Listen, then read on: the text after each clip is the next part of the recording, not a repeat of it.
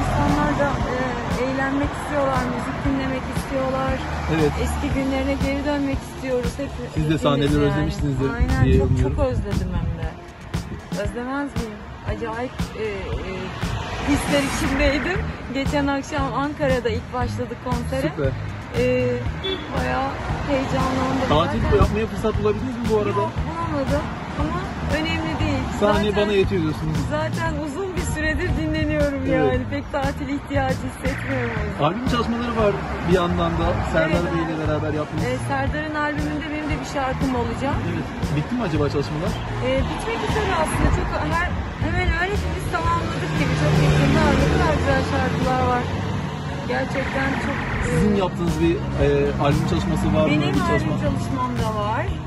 Ee, aynı zamanda bir single çalışmam var. Onun dışında Şehrazat projesinde bir şarkım var. Bayağı e, Süper siz gümbür gümbür geliyorsunuz. gümbür gümbür oldu gerçekten. anda Var mı bunların içerisinde bir sürpriz e, bizim bilmediğimiz acaba Ee, güzel merak uyandıran? Şu anda işte bunlar dışında bir şey yok aslında. Konserler, şarkılar. Kaldığımız yerden hayata devam etmek istiyoruz hepimiz. İyi, ben süper. de öyle.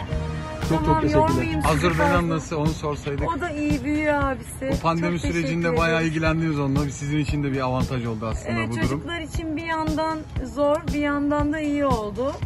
Ee, hiç göremeyecekleri kadar annelerini, babalarını e, imkanı olanlar tabii ki değil.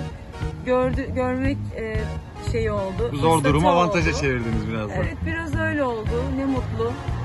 Keşke bütün çocuklar bu kadar anneleriyle, babalarıyla ve gerekli ilgiyi, alakayı görerek, hak ettikleri hayatı yaşayarak keşke e, çocukluklarını geçirebilseler.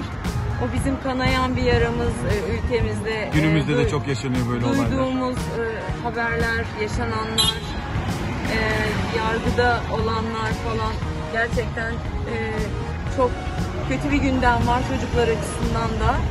E, o çok üzdü bizi tabii ki. Böyle bir durum. Peki, çok teşekkür ben ederim, çok sağ olun. Zaten özel mülke gireceğim. Tamam, Sizleri Çok teşekkürler, çok sağ olun.